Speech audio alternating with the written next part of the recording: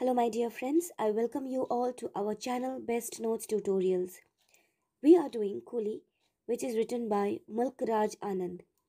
In my last video, I have completed chapter 1 and chapter 2 of this novel. Now we will move to rest of the chapters in detailed manner. So before we move into the next chapters, let me quickly recapitulate so that you will remember what we have done so far so that we can continue with the story. Friends, I told you that Mulk Raj Anand is an Indian English writer and he has written two very important works compared to other works of he himself. Number one is Untouchables and then Coolie. Today we are doing Coolie, which is his second novel. Now, next important information is he was born in Peshawar, India, and he writes more on marginalized communities. From Mulk Raj Anand, please remember his work Untouchable, which was published in the year 1935, and this was his first work. Next was Coolie, that was published in the very next year 1936, and this is extremely you know heart touching story of a little boy who is just 14 years of age. His name is munoo. So please keep in mind the name of the protagonist and the year of publication. Next is two leaves and a bud. So i'll not go much into details. Please keep in mind these important points which i have discussed in my video 1 now we will transit to chapter 1 and here we see the protagonist Munoo, who is a hill boy, and he is happy there. He is an orphan, okay, and therefore he is staying with uncle and aunt. These two people are very cruel, all right, because they are very insensitive. Even though they don't have child, they don't love Munoo, all right. It is very disgusting to see this because when somebody is childless, they tend to give more love to you know children but that does not happen here. They are always running after money. So uh, here we see both of them ill treat munoo and somehow he tolerates because in village he is living in a very peaceful surrounding. All right inside the house there are so many problems. Uh, lack of good food lack of clothing lack of love lack of safety as well. But still the environment the natural environment is very idyllic peaceful okay pleasant. Therefore he is happy there. But what happens? He was sent to village sorry from village to city from village bilaspur to city and there the problem starts. Now what had happened? Let us find out. Before that let me tell you munoo's uncle uh, used to work in imperial bank. Imperial bank uh, was the name of sbi state bank of india during that period. Okay, the name was changed afterwards. Now, Munoo's aunt always urges his husband, sorry, her husband, to, you know, have a very good life. Okay, because she was fascinated by the city life. So, all of them moved to city. Now, when it was told that he will be shifting from village to city, Munoo was happy because he started dreaming of a good life. He started dreaming of completing examination and getting job and leading a life of pride and dignity. But that does not happen. When he comes, he was put into work by his uncle, alright, and the place where he was working that was not at all conducive for him. Now, the owners, okay, the owners of Munoo starts beating him for minor mistakes. Alright, and here we see all his dreams shatters in city. In his heart, he starts comparing town with his village, and he finds that village was much more peaceful than this city because he wanted to see cattle, he wanted to see fields, which he did not see in city. So this shows modern life and traditional life. All right, uh, especially village, they follow traditional way of living, and in city we find modern ways and these are totally poles apart from each other which can never be mixed and which can never be uh, appreciated Okay, comparison is not appreciated because wherever we go, there we will find positive and negative aspects. So, according to our desire, we have to accept that. Now, he starts working in the house of Nathuram. Nathuram was accountant of Imperial Bank. Okay, uh, Imperial Bank is the same bank where uncle of Munoo was working. Alright, they shifted to city. Here we find the life of Shamnagar, and in Shamnagar, Nathuram was the accountant of Imperial Bank, and Munoo started working in his house. But the owner's lady was not at all full of warmth. She was treating Munoo very badly, very ruthlessly. It was Dr. Prem Babu who noticed this little boy and treated in a very kind way. So, in the house of this family, Nathuram's family, it was Dr. Prem Babu who was just like a guardian for Munoo. He took care of his health and always tried to save him from the ruthless behavior of uh, Nathuram and his wife. In this house, Munoo was expected to complete entire household chores and uh, that too with perfection, which did not happen. So now and then, Munoo used to get scolded by Bibiji and Babuji. Okay, so eventually, what happens? Munoo gets tired of this life, and even though he was frustrated, he had to lead this life because there was no other option left before him by his uncle and aunt as well. So finally, we see Munoo was playing with children of this accountant. Okay, and uh, what happens? He happens to bite.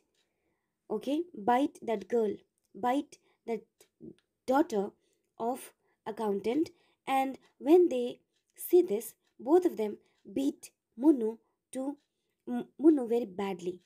Alright, and Munoo was not able to tolerate this, so he escaped on a train.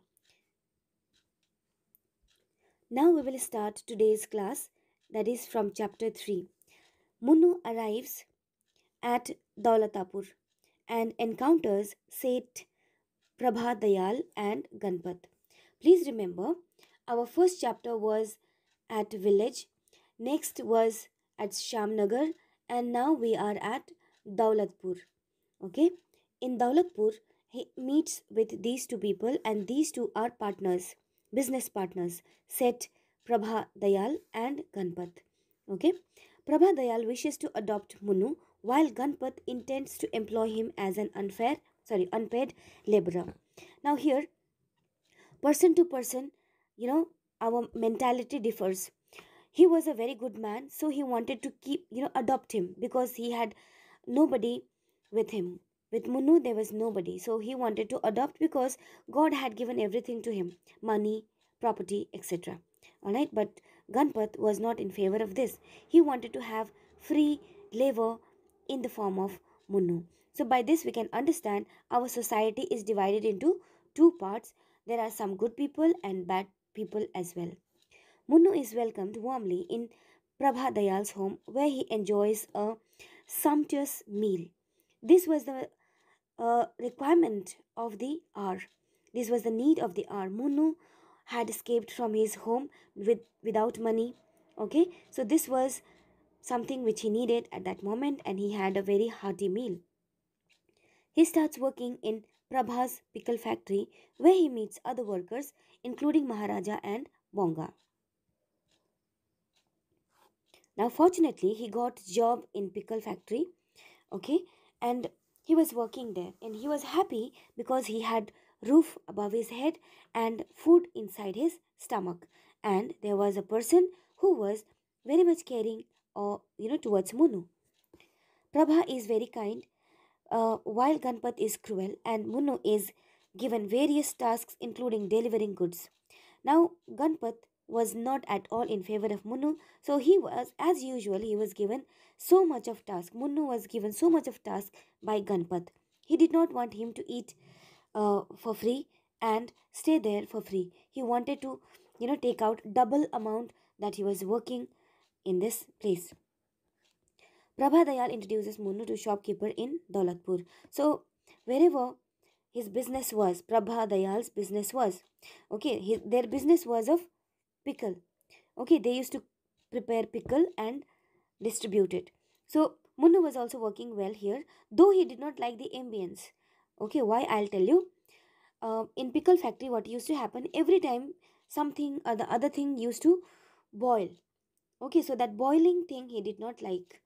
All right in one pot there is something which is being prepared for dispatch and then somewhere else you know something else is boiling. So that uh, situation he did not like but he liked the members of this factory okay who were always supportive to munoo. So finally he was at better place compared to bilaspur and shamnagar.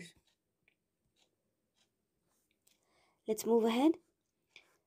A dispute arises with prabha's neighbor rai bahadur sir todarmal due to the factory's foul smelling ovens now here Prabha used to make Prabha and Ganpat had a factory I told you.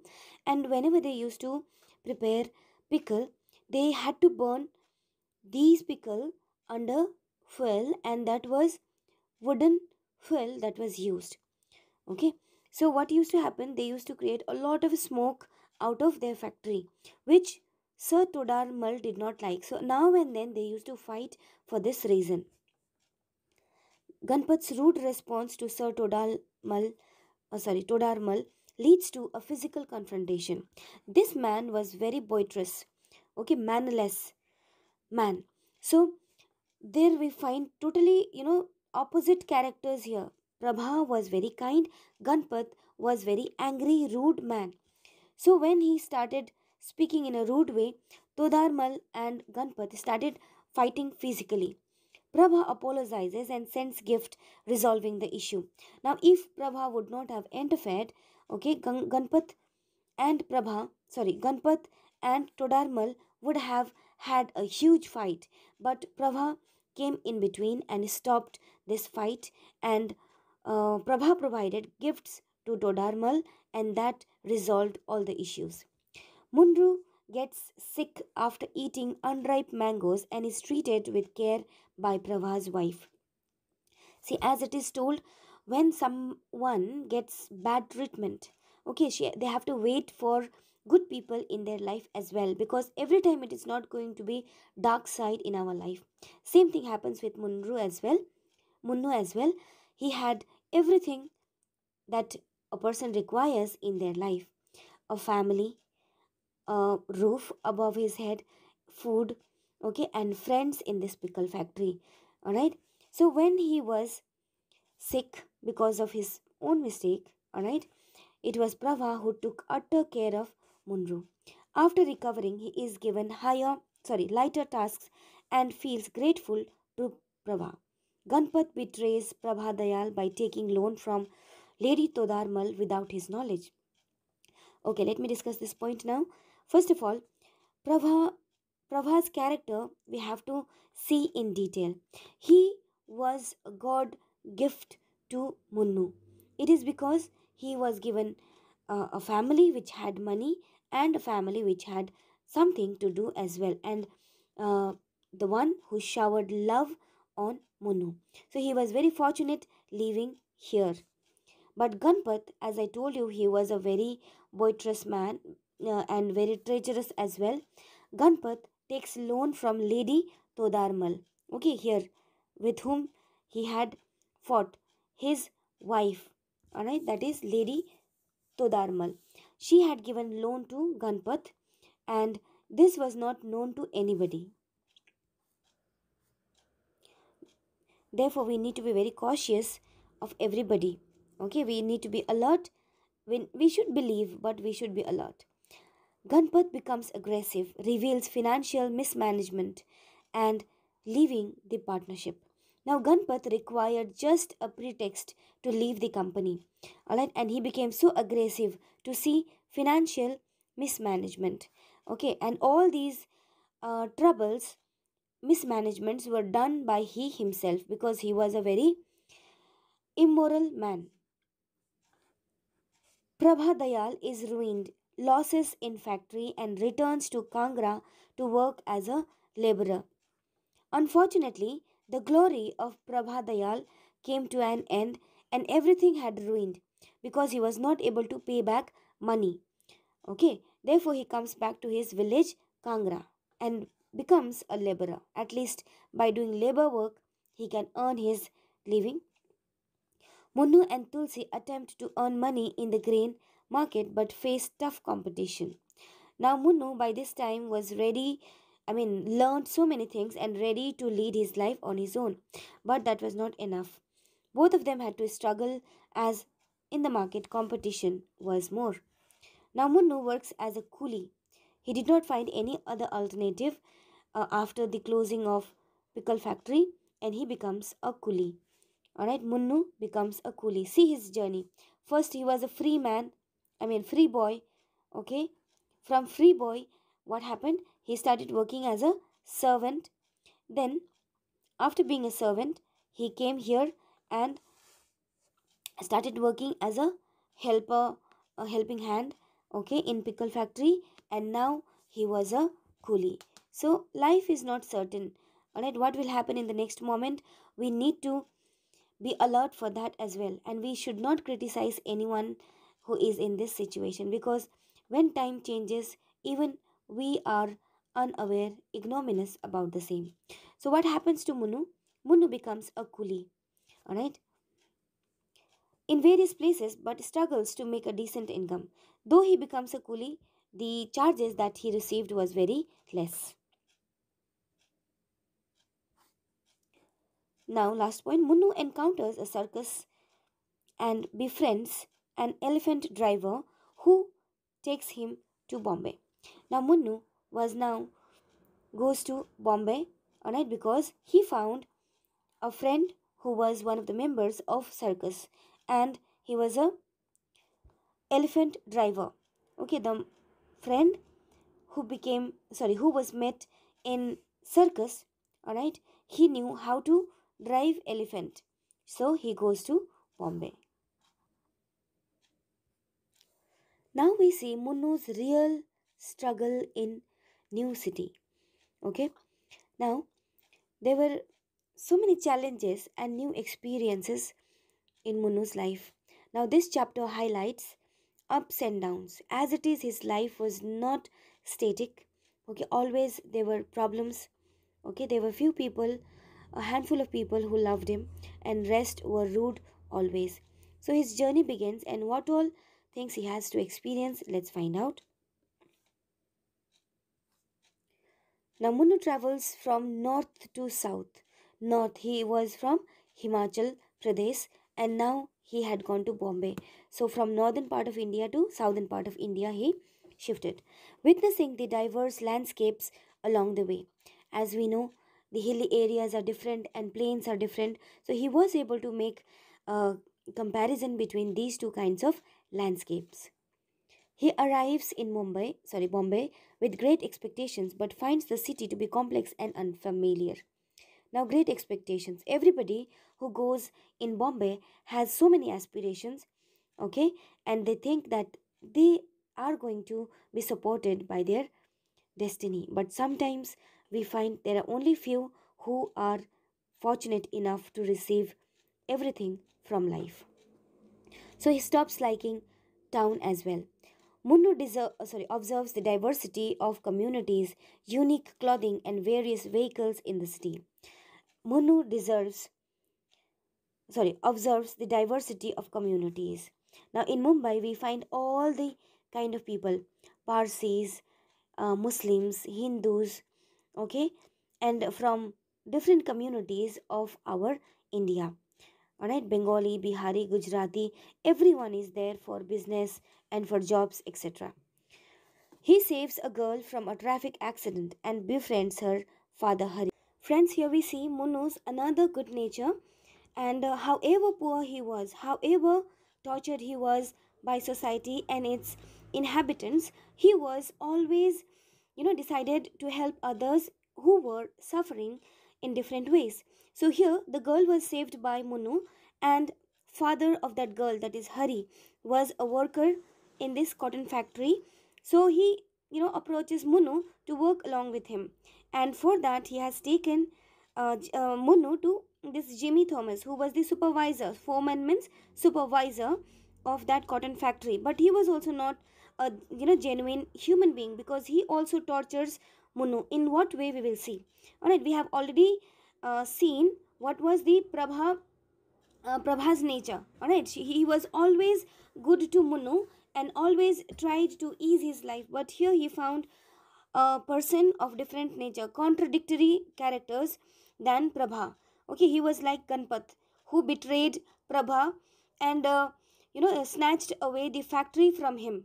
So it was not only that he had taken loan against this pickle factory, and entire money had to be paid by Prabha Dayal. And uh, you know there, there was Lady Todarmal as well. Okay, she also did not uh, favor Prabha she favored Ganpat. So, what happened? Because of the betrayal, Prabha had to leave the place and he was very much disheartened. He was so depressed and started working lonely. Alright, now Munoo had decided that he will work and he will survive, and whatever money he will save, he will send it to Prabha because now he had become poor and he had left uh, that place where his uh, pickle factory was. So, unfortunately, again he was trapped in the hands of this Jimmy Thomas. What all things happens in this story? Let's find out. Friends, here we see um, Harihar. Okay, the full name of this man, Hari, is Harihar, and he was working in this cotton factory. It was not only he, but his wife and children are also there in this factory. But the wages are very low because uh, this uh, supervisor exploits him and his uh, you know factory owner as well. He wanted to take benefit of uh, unemployment in the society and therefore whoever comes in his factory he pays very low even after being very old man harihar was paid very low wages but he had to accept that for survival. So let's see what happens to munoo. Munoo works at the factory involves operating a machine and joining thread ends when they break. Now see this was the work of this boy all right joining the threads. All right you must have seen in cotton factory obviously these kind of things will be seen. Okay so he was doing his work but it was very tedious. It was very time taking and laborious which was leading to dissatisfaction munoo was not happy here because of the operation harihar's family faces difficulties including a child's accident and the destruction of their hut during heavy rain now harihar tells his story to munoo that how his hut was destroyed by heavy rain and child's accident occurred. Now Ratan, a fellow worker, helps them find shelter and befriends Munoo. Now Munoo is now and then making friends here one after the other. Friends, another problem of this factory was that, that the grains that was provided, okay, that was of very high rate. Wages were low, but the grain cost was very high. So we see exploitation everywhere, wherever Munoo goes. Not only this, the shelter where these laborers used to. Not only this, but the problem is shown where they used to reside. It was just a hut of straw, all right, and hay.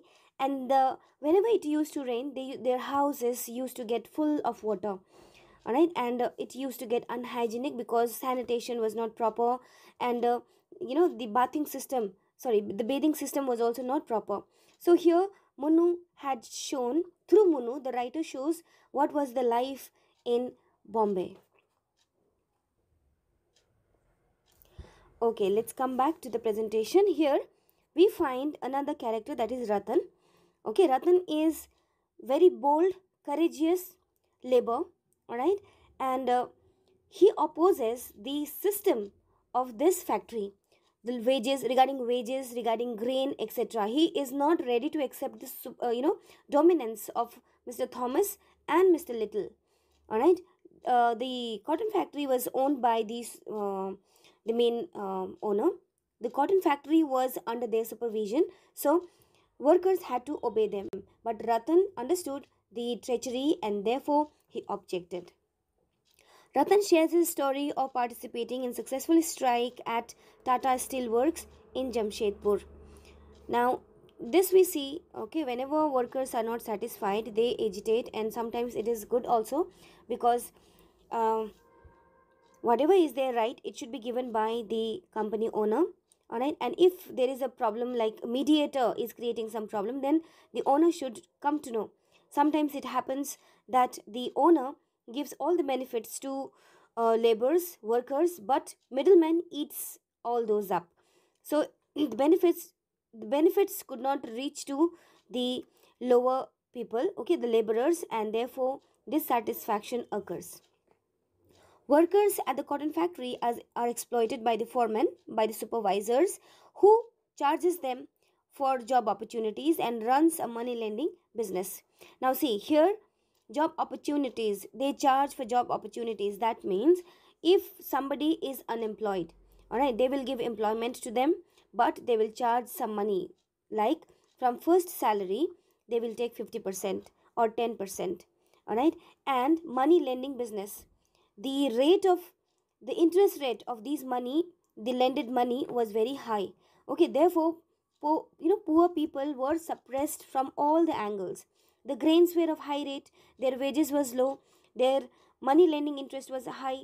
Then if they had you know if they used to get job better job and they had to pay some percentage to these exploiters. Therefore these servants were i mean these workers were trapped in the vicious circle. Now, what happens in this story? See, Ratan had taken Harihar's family to his chawl. Okay, because during rainy season, his hut was taken away by the water. So, for you know safety, he had taken, but he did not inform the supervisors. Therefore, supervisor had become very angry at Ratan, and he start he started torturing Harihar as well for not informing him. Alright, so torture started in different ways. Uh, the working hours were extended, okay, from 5 to 5, and then, you know, so many restrictions as well. Now, what happens? These Belittle and Mr. Thomas, both of them decides to shorten the work. That means in a week, the workers will work only for three days this means that the uh, workers will not have enough money for their survival. Okay, where will they will they go in those four days and work? So here, uh, resentment, okay, dissatisfaction starts, and you know laborers they go against their supervisors. All right, and when they agitate, even communist leaders they join and uh, join this riot, and it turns out into a Hindu and Muslim riot. Munoo is attacked by a mob during communal rites and is rescued by social activists. Friends, as we know, there are antisocial elements who are always on their toes to create problem in our society. So what had happened here? They had misinformed people that Hindu kids are being stolen by Muslims and Muslim kids are being stolen by Hindus. So because of this misconception, all right, they started fighting with each other and it had turned into a huge riot. All right, so here even Munoo had been trapped. Understood? So somehow when he was saved, uh, he was once upon a time he was admiring a boat and thinking about his place Shimla. During that period only, he was about to collide. I mean, he, he literally collided with the car of Mrs. Mainwaring. Friends, in between, what happens? Ratan takes Munoo to red light area. Alright, and there he was again mentally tortured and sexually as well. Okay, sexually exploited and mentally uh, tortured as well. He physically he was already into work. Okay, but this was something extra that he had never experienced. So he you know starts that desire and uh, he does that. And later on we see that harihar's wife who was very young okay uh, in there is slight mention of relationship between munoo and harihar's wife okay but it's not written in, in in an elaborated way. So we can just uh, understand that this had also happened okay. So keep in mind if question ask question will if question is asked from this aspect you have to mention that physical exploitation was already done by society. Now mental and sexual also harassment also started.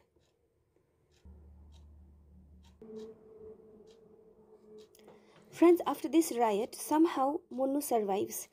And uh, when he was looking at this boat, alright, he was hit by the car of Mrs. Mainwaring, and uh, she was this lady was from Shimla. Okay, she was rich lady and she was from Simla. And when she understands that Munoo has nobody, uh, nobody with him, and he does not have any, um, he does not have any person to look after and he does not have job what does he do she takes munoo to shimla because even she needed some servant so she decided that this munoo will be the best option for her mrs mainwaring employs munoo as her page page means attendant okay and rickshaw puller now uh, he started doing this work okay mainwaring's sorry mrs mainwaring's work was done by Munoo. The chapter highlights Munoo's journey from Bombay to Shimla and the challenges he faces in the bustling city.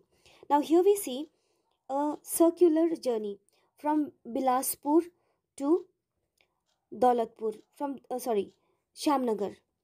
Okay, from Bilaspur to Shamnagar, from Shamnagar to Daulatpur, then Daulatpur to Bombay, and from Bombay to Shimla.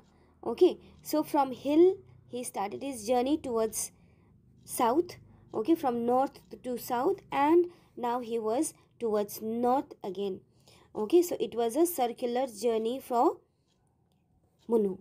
Okay let's move ahead.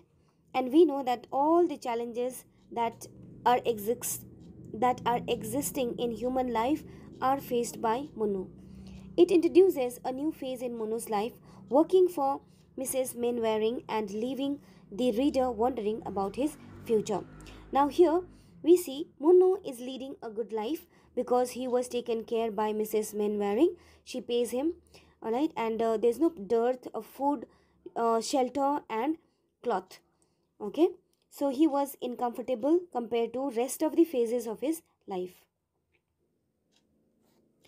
Unfortunately, he discovers that this lady Mrs. Mainwaring was, who was an Anglo-Indian woman, was known for her loose character. Alright, she needed men.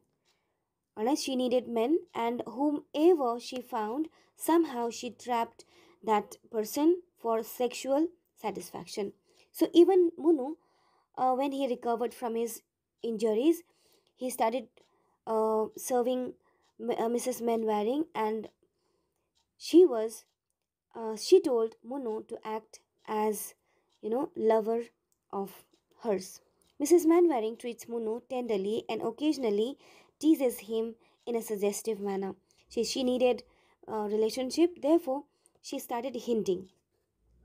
In addition to his domestic duties, Munoo pulls Mrs. Mainwaring's rickshaw, taking her wherever she wants to go.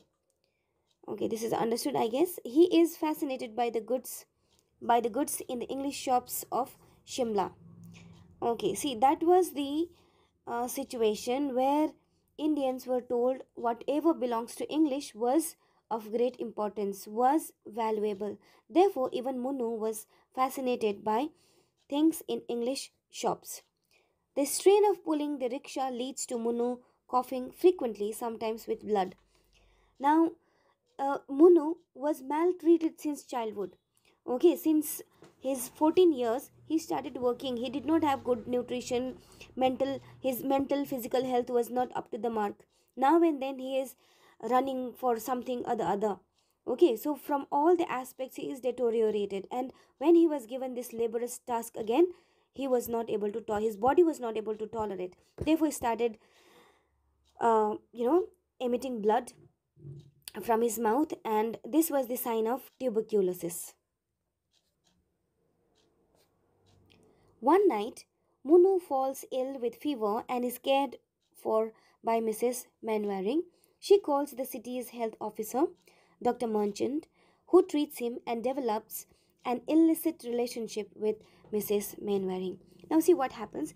Munoo was also okay when he was in relationship with Mrs. Mainwaring because he was thinking that at least everything is provided by Mrs. Mainwaring and uh, proper care was done by this lady.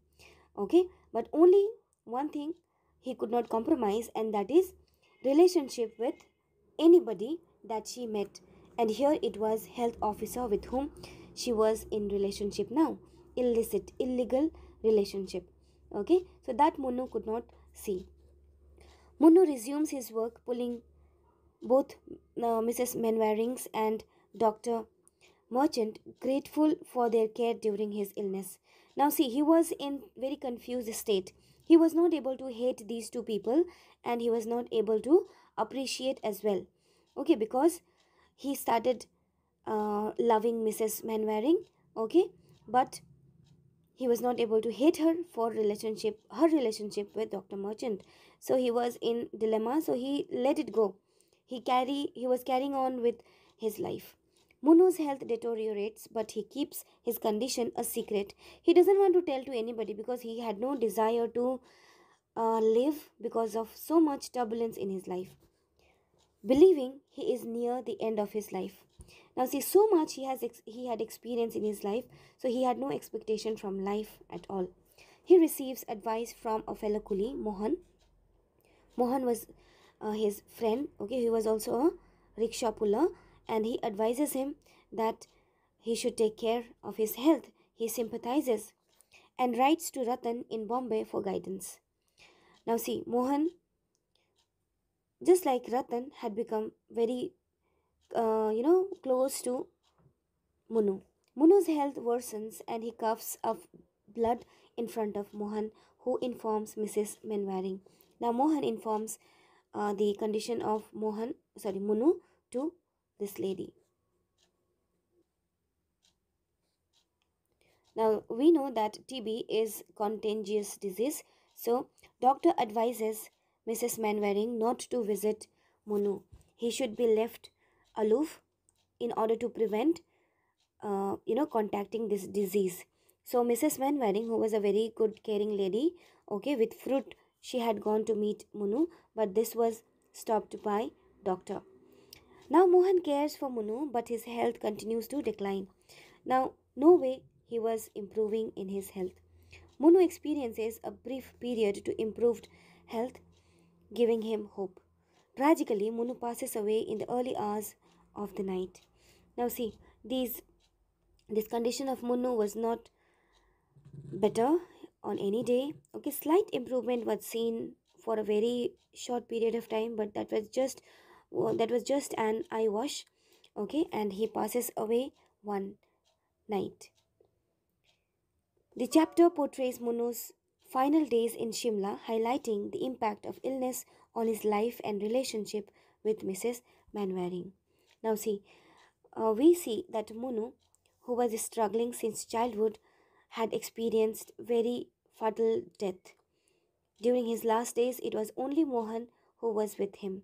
Mrs. Mainwaring, of course, she cared for Munoo, but she could have taken care of Munoo in a much, uh, you know, better way, which she did not do. And finally, we see there's no trace of Munoo in this world. And this is the story of many children in India. Fortunately, things are changing now, but we need to see around and whatever way it is possible, we should help them. If we are seeing Munoo, if we are seeing Harihar, you know, you know who was under exploitation, if we see child like Mohan also, then we should be able to take care of them. Uh, at least monetarily, we should provide them uh, some help. So this is the requirement of Coolie novel uh, that we need to ingrain. This is how the story ends. I hope uh, everything is clear to you all and you are ready for the examination. Children, if you require this PDF, do message me in the comment section. We are going to provide it for free to you all. Thank you so much for being with me.